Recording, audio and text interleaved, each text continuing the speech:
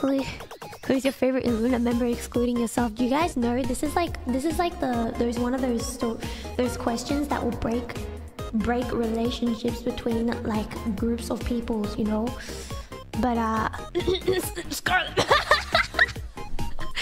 Yeah, no I look I if I had to choose Scarle. Scarle. yeah. Favorite Niji member Petra Senpai. no hesitation. Let's go. Easy answer. That's right.